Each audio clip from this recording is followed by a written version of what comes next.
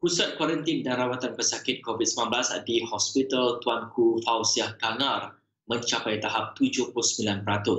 Bagaimanapun, menurut Menteri Besar Perlis Datuk Seri Azlan Man, negeri berkenaan masih lagi mampu menampung jumlah pesakit COVID-19 memandangkan kapasiti di Kolej Jururawat Masyarakat Kangar yang digunakan hanya sekitar 26%. Tambah Azlan, pihaknya juga menjangkakan jumlah kes jangkitan tempatan harian akan semakin rendah berdasarkan trend yang dilihat semalam iaitu hanya 3 kes daripada 233 sampel yang diuji.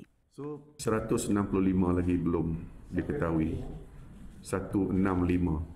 Tapi kita pun menjangkakan yang eh, daripada 165 tu mungkin bilangannya dah tak tak begitu banyak dah. Sebab kalau kita tengok pada trend uh, kemarin hanya tiga orang saja yang telah didapati positif daripada 233. Ya, doktor? Betul kan? So, kita ada 65, 165 saja lagi. Ini pun mengambil kira bahawa dah tidak ada lagi uh, orang-orang daripada luar perlis yang datang ke sini. Yang memang dah tak ada langsung sebenarnya. So, that's why kita expect the number would go down lah. Tak akan besar seperti mana yang berlaku uh, pada 14, 15, 16, 17 hari yang lepas. Sejak sekian lama bebas jangkitan kes COVID-19 selain berada di dalam status hijau, Perlis mula menunjukkan peningkatan kes tersebut sejak minggu lalu.